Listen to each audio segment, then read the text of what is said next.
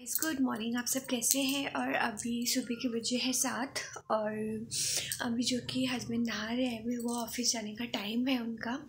तो अभी मुझे ब्रेकफास्ट बनाना है। तो जस्ट अभी उठे हैं हम। मैंने ब्रश कर लिया है। तो अभी कोई काम रहता है ना सुबह तो फिर उठने का मन करता है। अगर काम नहीं रहना तो फिर मन नहीं होता है। तो चलो, आज का जो कि मैं अपना मॉर्निंग रूटीन स्टार्ट कर रही हूँ। तो सबसे पहले हम क्या करेंगे? हस्बैंड के लिए ब्रेकफास्ट रेडी करेंगे, उसके बाद हम अपना काम करेंगे। चलो। तो यहाँ देखो, अभी आ चुकी हूँ मैं किचन में और किचन में मतलब अभी मुझे बनाना है ब्रेकफास्ट और लंच दोनों एक साथ बनाना है। लंच जो कि हस्बैंड लेके जाएँगे और ब्रेकफास्ट करके जाएँगे। हस्बैंड ने नहा लिया है और मेरा अभी तक कोई काम नहीं हुआ है। मतलब देख सकते हो रात का बर्तन भी वैसा रखा है। आजकल ना रात को ना मुझे अच्छा नहीं लगता तबीयत तो इस वजह से ना फिर मैं धोती नहीं हूँ। कभी कभार अच्छा लगता है तो धो धा के रख देती हूँ। अभी जो कि ऐसा टाइम है ना मूड विंग्स होते रहते हैं मेरे को तो कभी अच्छा लगता है कभी ख़राब लगता ख़राब लगता है। तो यहाँ देखो यहाँ पे मैंने कल रात को ही ना मतलब आटा फिर हम्म, आलू काट के धो के अच्छे तरीके से भिगो के रख दिया था मैंने कि मैं सुबह उठते ही सबसे पहले अपना जो मूड है ना वो एकदम फ्रेश रहे कि चलो कोई ना सब सब काम मतलब समेट के मैंने रख दिया है ओनली सुबह उठना है और मतलब अपना काम करना है। तो ये चीज़ मुझे काफ़ी पसंद है गाइस मतलब मैंने इस वजह से करके रखा था पहले पहले ही दिन कि मुझे सुबह उठ के कोई परेशानी ना हो, झटपट कर लूँ मैं। तो यहाँ देखो मतलब काफ़ी इजी हो जाता है सुबह कि मतलब सब कुछ प्रिपेयर करके रख दो ना पहले वाले दिन। तो सब इजी हो जाता है। तो सबसे पहले ना मैं रोटी और जो कि आलू को ना अच्छे तरीके से फ्राई कर लूँगी। तो यहाँ पे जो कि अभी थोड़ी देर के बाद हस्बैंड भी आएँगे। झाल मेरे को डालना है मतलब हरी मिर्च डालना है अभी। तो अभी थोड़ी देर के बाद हस्बैंड आ जाएँगे। लो आ, बोलते बोलते आ गए हैं। तो वो चाय बना देते हैं। वो मतलब मेरा हेल्प काफ़ी करते हैं सुबह। वो कभी कभार बोलते हैं ना कि यार मत उठा करो मतलब कभी उठाते भी नहीं है मुझे। जब मेरी मर्ज़ी होती है, तब मैं उठती हूँ। कभी मेरे को मतलब सुबह उठने को बिल्कुल ही फोर्स नहीं करते हैं। उनको पता है कि यार मेरे से वैसा होता नहीं है। जितना मतलब पॉसिबल होता है, मैं उतना ही करती हूँ। बट हाँ प्रॉपर करने की कोशिश करती हूँ। तो यहाँ पे देखो हस्बैंड जो कि अभी चाय बना रहे हैं और एक साइड मेरा आलू और रोटी बन रहा है। आलू तो मैंने हटा दिया है। हाफ़ फ्राई किया है और हाफ़ मतलब पूरा पकाना है थोड़ी देर के बाद। जब चाय हट जाए, बन जाएगा तब। और अभी चलूँगी मैं पीछे क्योंकि आज थर्सडे है तो आम का पत्ता चाहिए।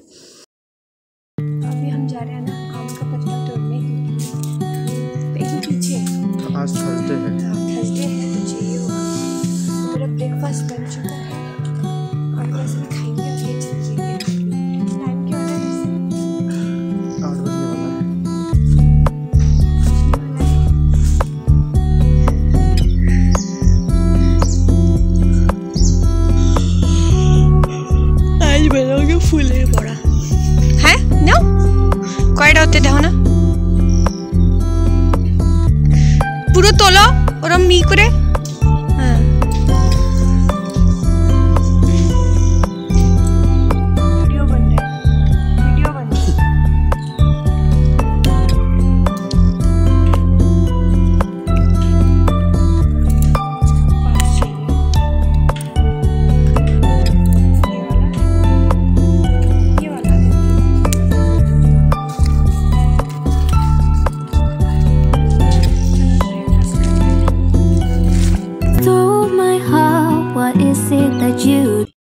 सुबह ना जब फूल को देखता हूँ ना तो बहुत ही अच्छा लगता है। और जो ओस पड़ती है ना सुबह सुबह ओहो मतलब पूरा नेचर का पूरा फुल मज़ा आता है।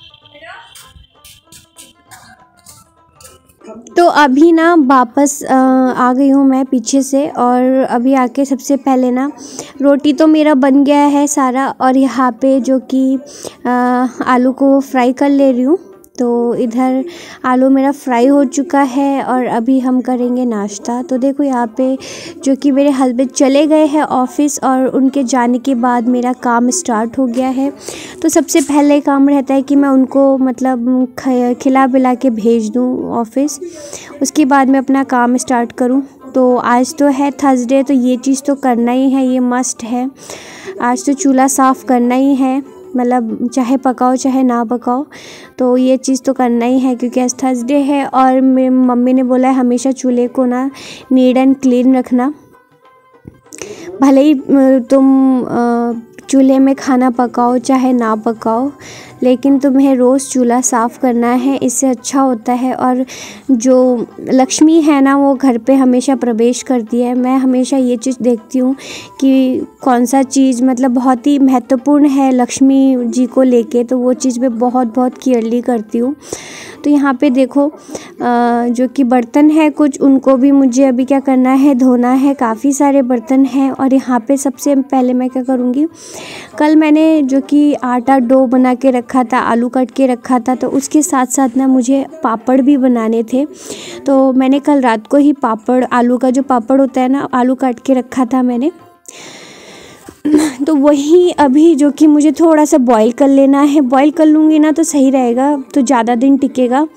तो यहाँ पे जो कि मैंने गर्म पानी बिठा दिया है और इसके अंदर अभी डालूँगी आलू, जो कि कल रात को ही मैंने ये आलू प्रिपेयर करके रखा था कि सुबह उठते ही मैं पापड़ बना लूँ, क्योंकि ना मन नहीं लगता है बाद वाले दिन काफ़ी सारा काम करके। तो इस वजह से ना मैं क्या करती हूँ, रात को ही काम वाम करके रख देती हूँ। मुझे अच्छा लगता है कि पहले, उससे पहले दिन, एक दिन पहले ही मैं अपना काम सारा प्रिपेयर करके रखूँ तो मुझे काफ़ी ऐसा अच्छा लगता है। तो चलो अभी रूम के अंदर, जब तक मेरा आलू थोड़ा बहुत बॉयल हो रहा है, तब तक मैं ना क्या करूँगी, थोड़ा झाड़ू पोछा लगा लूँगी। तो अभी पहले तो मैं इस मैट को हटा देती हूँ क्योंकि मुझे झाड़ू लगाने में प्रॉब्लम हो जाती है इस मैट की वजह से तो इसको हटा देती हूँ। फिर बाद में बिठा दूँगी इसको। तो चलो, अभी इधर का तो क्लीन हो जाएगा। तो अभी क्या करना है? थोड़ा पोछना है। सारा मतलब जो ये धूप वाला स्टैंड है ना, इसको पोछना है क्योंकि इसके ऊपर ना मैं रोज़ अगरबत्ती जलाती हूँ ना तो रोज़ गंदा हो जाता है तो इसको पोछना पड़ता है रोज़। और अभी मुझे करना है थोड़ा साफ़ सफ़ाई मतलब एक खिड़की को सॉरी दरवाजे को भी क्लीन करना है। दरवाज़ा ना मेरा बहुत डार्क है तो इसके ऊपर धूल पड़ता है ना तो फिर मतलब वाइट वाइट दिख जाता है तो इस से झाड़ना पड़ता है। तो यहाँ पे देखो टीवी के आसपास भी काफ़ी सारे मतलब वायर वायर गंदा पड़ा था तो उनको भी धो मतलब वॉश कर सॉरी पहुँच रही हूँ और इधर मेरे को वॉश भी करना है। कुछ मतलब मेरे किचन टॉवल्स वगैरह वगैरह। तो यहाँ देखो, मेरा काम करते करते इधर मेरा जो कि बॉयल हो भी चुका है। मुझे हाफ़ थर्टी परसेंट जो कि बॉयल करना है। तो यहाँ मैंने ना साइड में झाड़ झोड़ लिया है कि धूल मिट्टी ना रहे। तो मैंने एक पन्नी के ऊपर जो कि मुझे इसको सुखाना है।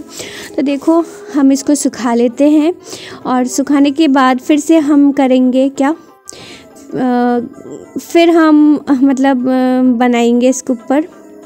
क्योंकि क्या करना है ना कि इतने से तो होगा नहीं।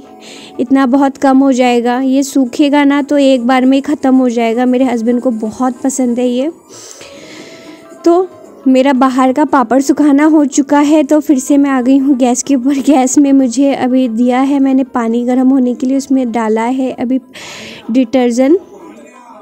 तो डिटर्जेंट इसलिए क्योंकि जितने भी मेरे किचन टॉवल्स हैं ना, वो सारे ना वॉश करने हैं आज मुझे। और जब तक गर्म पानी में डिटर्जेंट ना डाल के वॉश ना करो ना तो तेल तेल टाइप का रहता है ना तो गंदा जाता भी नहीं है। आप लोग समझ ही सकते हो कि किचन का जो दाग है, वो आसानी से जाता नहीं है। तो इधर मेरा टॉवल जब तक सूखता रहेगा, तब और तब तक मैं क्या कर लूँगी, पोछा लगा लूँगी नीचे, क्योंकि दो तीन दिन से ना मैंने इधर का पोछा लगाया नहीं है। मतलब जहाँ पे मेरा कंटेनर रहता है, ये सब। तो इधर मैंने पोछा लगाया नहीं है। तो थोड़ा मैं फेनॉइल से ना इधर इधर पोछा लगा लूँगी। नहीं तो ना फिर कॉकरोच होने का चांसेस रहता है। तो दो तीन से, दिन से अच्छा भी नहीं लग रहा था, इस वजह से ना मैंने पोछा लगाया नहीं है। तो आज जो कि फ़ाइनली मेरे को अच्छा लग रहा है तो फिर मैंने आज पोछा लगाया है। और अभी क्या करना है, मुझे इधर का काम कंप्लीट करने के बाद फ्रिज को भी क्लीन करना है, फ्रिज के ऊपर का भी क्लीन करना है।